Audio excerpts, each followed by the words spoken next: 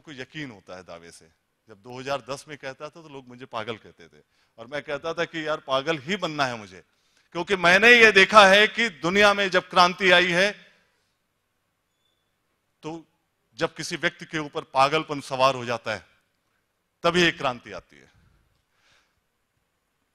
हमारे देश में, जो मैंने हमेशा कहा है, अगर एक साधारण से बैरिस्टर को उसके देश में जिस जगह पर वो अपना कैरियर चला रहा है, अगर कुछ लोगों ने ट्रेन से उतार दिया और वो बैरिस्टर अपमानित महसूस होके, अगर उसने सबसे पहले जाके अपने वाइफ से, अपने दोस्तों से, अपने किसी से भी कहा होगा कि मैं अंग्रेज़ों से बदला लूँगा तो मुझे तो नहीं लगता है कि जिन लोगों से कहा होगा, उन लोगों ने उसको कहा होगा अप्रिशिएट किया होगा कह अरे यार तुम बहुत अच्छा सोच रहे हो तुम तो जाओ। हा? किसकी बात कर रहा हूँ, समझ गए आप लोग? गांधी जी को, जब गांधी जी ने, मैं कई बार गांधी चिंतन करने वाले लोगों से पूछता भी हूँ कि क्या उस समय की, उस चार दिनों की कोई किताबें मिलेगी क्या? उस दस, बीस, पचास दिनों की कुछ जानकारी मिलेगी क्या? सुभाष चंद्र बोस जितने क्रांतिकारी हुए उनके सर पे क्या सवार था? पागलपन सवार था। आज, हा?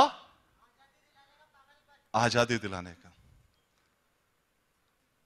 आज देश अगर सुरक्षा महसूस करता है तो बॉर्डर पे जो सैनिक खड़ा है, सीमा पे जो रक्षा कर रहा है, जिसकी वजह से आज हम दुनिया में भारत को आर्थिक रूप से सबसे मज़बूत ताकत बनाने के लिए उसमें एक थोड़ा सा योगदान करने की हम बातें भी कर पा रहे हैं।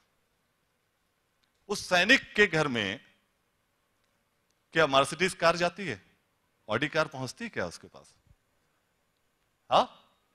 उसके पास जुनून है देश की रक्षा का। पागलपन सवार है कि उसको देश के लिए कुछ करना है। अरे, अगर वो बॉर्डर पे खड़ा होकर देश के लिए कुछ कर सकता है तो क्या हम शहर में रहते हुए इस देश के लिए नहीं कर सकते कुछ। सिर्फ़ और सिर्फ़ चाहिए क्या? वो देश की सुरक्षा कर रहा है, हमें आर्थिक रूप से मज़बूत करना है तो क्या लाना है? आर्थिक क्रांति लेके आना है। और देश में आर्थिक क्रांति आई हुई है, इसलिए देश आर्थिक रूप से दुनिया की सबसे मज़बूत ताकत बन रहा है। उसमें मैंने पहले भी कहा है कि डीएचएल इंफ्राबुल्स बहुत बड़ा योगदान निभाने की कोशिश कर रही है, और आने वाले समय में हम इसको कई शहरों में लेके और तब एक साथ दिखाएँगे इसको।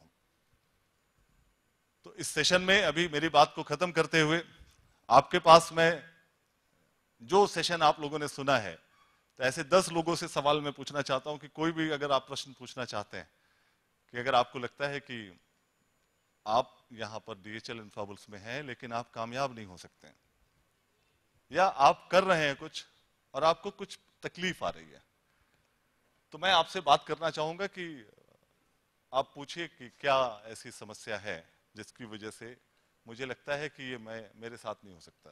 क्या ये सही रहेगा बात करना आपसे? हाँ? सही रहेगा? तैयार हैं आप? एक मिनट प्रश्न वाले से कुछ और लोग तो नहीं है यहाँ पर, ऐसे आए हुए। भानु प्रताप सिंह है, मैं पहले सेशन में भी जब आया था इंट्रोडक्टरी में तो मैं भूल गया था कि हैप्पी बर्थडे टू यू नहीं बोला था। आपको जन्मदिन की बहुत बहुत शुभकामनाएँ, आप बड़े पुत्र हैं और सब जानते हैं, लेकिन मैं अपनी तरफ़ से विश नहीं कर पाया था। तो फ़िलहाल अभी कोई ऐसा विजिटर तो नहीं है। चलिए, पूछिए सवाल। बिल्कुल नॉर्मल रहिए, अपने जैसे अपने ऑफ़िस में जब हम लेते सेशन उसी माहौल में आ जाइए। क्योंकि अगले पाँच मिनट दस मिनट में खत्म हो जाएगा। हाँ।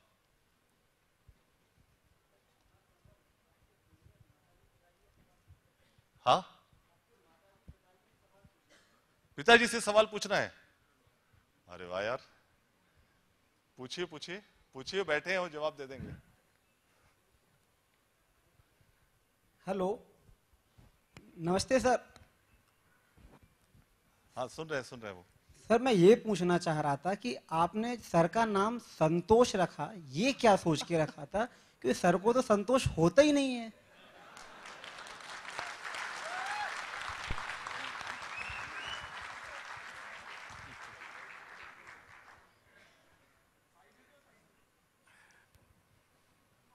हाँ भाई, ऐसा है, हम लोग बहुत धार्मिक प्रवृत्ति के थे और मिसेस हमारी संतोषी माँ का व्रत रखती थी।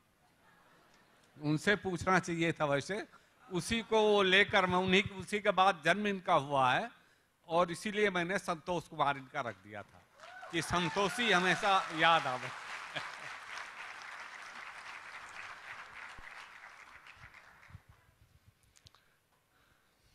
नेक्स्ट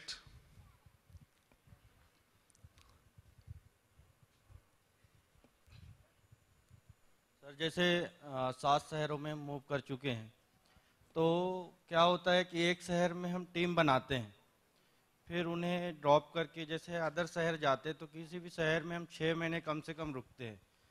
तो इस शहर की टीम सर ख़त्म हो जाती है, फिर वहाँ बनाते हैं, फिर वहाँ ख़त्म हो जाती है। तो इस, ऐसा क्या किया जाए सर? कि टीम भी टिकी रहे और क्योंकि जैसे भोपाल के लोग हैं, मूव नहीं किए, नागपुर मूव नहीं किए। तो उनके लिए सर हम क्या ऐसा करें जिससे हमारी शहर, हर शहर से क्लोन तैयार हो और इनकम स्टार्ट हो सके सर?